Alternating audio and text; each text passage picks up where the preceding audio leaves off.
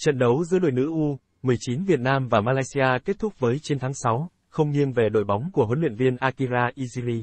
Với thành tích hai trận toàn thắng trước Singapore và Malaysia, đội U19 Việt Nam đứng đầu bảng B và giành vé vào bán kết.